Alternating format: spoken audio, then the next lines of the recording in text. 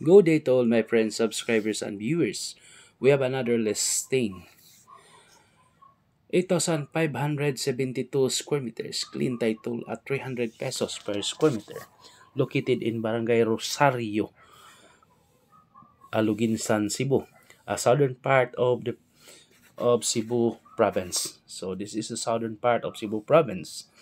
Approximately 20 minutes drive from Carcar City, Cebu. So, pabor ni siya guys sa Karkar. So, for example, from Gaisano, Karkar, uh, going to Valencia, Karkar City. Next is, after Valencia, that is already the boundary of Aluginsan and, and Karkar City. Then next is the uh, Barangay Saragosa and the other side is the Esperanza and Rosario. So, uh, this place belongs to Barangay Rosario. So, it has so many coconut trees, approximately 100 coconut trees, more or less. So, sa gatos kabuok. So, mana siya guys. So, medyo uh, some some uh, are rolling terrain and flat. Uh, more guess gamix in flat and rolling terrain but majority are flat terrain. So this is ideal for cattle farming uh, goat farming vegetables corn farming and many many more. This is an interior lot approximately uh, 100 meters away from the barangay road and rough roads uh, there are also concrete road. Uh, uh, kini guys it has already according to the owner uh, there was already a negotiated road right away. So naa na sila gi na negotiate nga road right away. Kay before before I uh, told them that uh, we cannot just sell if no road right away. So as they promise kay ila ra man pong parente the adjacents are their relatives. So uh, they can have the road right of way. So, mo na guys. Although, dili yun ako nagkuha sa video guys, no? I'm not the one taking the video, but I was there already during uh, during the time of the uh, other properties in Aloginsan that I have published, no? Dire ko guys, gabiin na lang minaabot. Although I have proof that uh, I have already the kuan katong dark uh, video pero di na ko maklaro guys. Pero anyway I will go back again soon if there was someone will see the, this property. If, uh, water uh, according to my in charge in this area there was already a deep well it's included in the uh, uh, in the area. So included to the property. Then Aside from coconut trees, there are mango trees also around 5 according to my charge. So, aside from uh, mango trees, there are also banana trees. So, manay nakanindot sa property na to guys, nga gi-publish karon. So, mo na to. The size is 8,572 square meters at 300 pesos per square meter.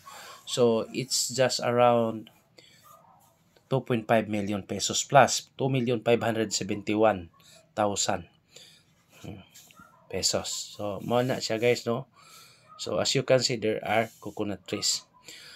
So, so daghan ra pagbunga ang uban. So, mo guys. So, flat terrain. Majority are flat terrain which is ideal for uh,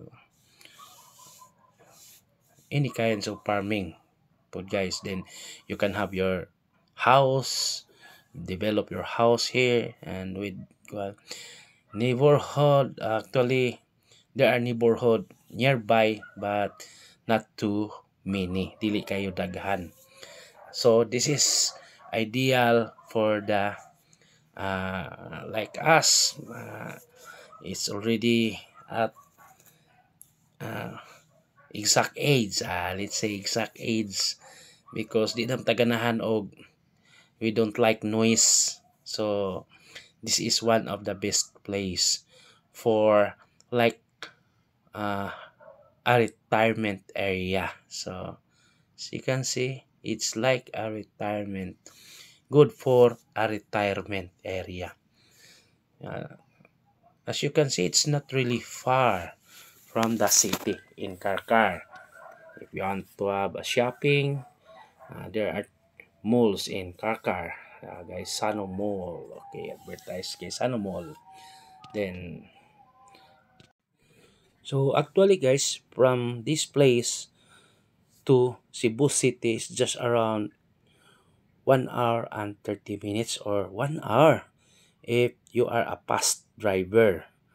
Faster ka nga driver. Although kaning uh, car car sa una guys, ako na himdom man, mga istorya po pero uh, kasagaran no sa mga akong mga kaila uh, before trabaho sila sa MIPSA, MIPS in Lapu-Lapu. Karkar City and Lapu-Lapu City is just around 30 minutes drive. So, see? 30 minutos na guys. So, mo na nakanindot, no? So, kini from Karkar City to uh, Rosario is just around, around hinahinera 20 minutes. Pero, faster sad ka mo drive, mga 10 minutes ra gyud ni guys, to all ra gyud. Then if you want to uh, go to beach, naa sila White Sand Beach dito ka gitawag og Hermit's Cove in Aluginsan. Uh, nindot sad kay nang ilang kaliguanan Hermit's Cove. Uh, so mo na dili kay layo gyapon 20 minutes hinihine ra. So very nice. And you know, it's very difficult to find uh, titled property with the owner is uh, are uh, still alive. So as you can see it's like a clean title. It not like it's clean title. Limpyo siya guys. Then mao na to uh, good for farming corn uh, bisag mga any kinds of planting uh, limonsito or any kinds of uh, fruit trees. So kining ilahang mga coconut trees uh, if you are going to clean the this babaw so daghan panig mahimong bunga guys. So mo no. So very nice. Actually guys, malagi to uh, I was here in this uh, property but during that time it was really very dark and very difficult to take the video. Although I have taken already but it's really dark. Uh, so very nice no? Then sa pamaidugang no? Wala na. Then naana po yung mga grocery or convenience store sa nearby in the area kompleto na sila na mga hardware na na so naana diha guys na murag mura po kasyapingan nimo na diha sa Barangay Esperanza owned by a foreigner with Filipina wife. So, ila po ng business. Uminton ng lugar guys, doon diya napita yun ang atong property nga gi for sale. So, mana to, for inquiries, just contact me and please subscribe our YouTube channel. We will transfer land title. Okay, oh, so this is the title guys and this is the uh, mana ang formas yuta guys. Thank you.